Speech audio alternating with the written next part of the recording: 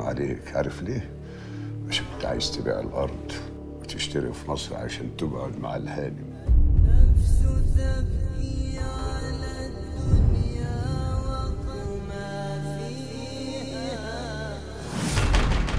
هي كان عبيط ولا ما عرفاش كريمة؟ دنيتها سودة. بتعمل روحها ست البيت بتؤمر وتنهي زي ما هي عايزة. الحكيم أخوك؟ تحط عينك في عينه كده وتقف ملك نفسك. الحاجة الوحيدة اللي عملتها غلط إني اتجوزت وسكنت في بيت العيلة البيت الكبير.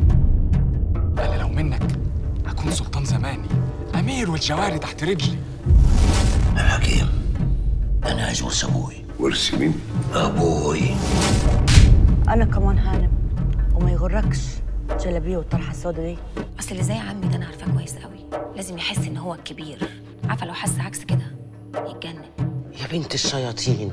انت عارفة لو في واحدة في البلد عندنا تعرف إنها كلمت راجل كانوا ضخوها بالنار. بس بس بس. ملهاش حد غير قبر مفتوح. أدفنها فيه بالحياة. دي غيرة نسوان وشغل حريم مش هيخلص. أنا فاهم الألعاب دي كويس. هو أنا وحشة قوي كده؟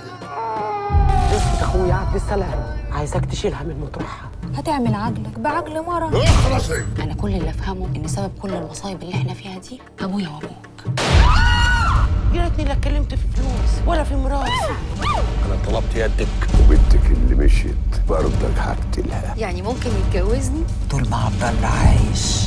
قلب عبد الحكيم هيحن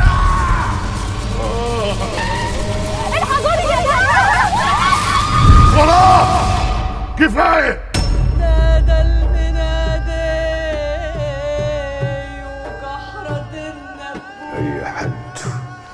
هيجرب ولا يكسر هيبة البيت الكبير.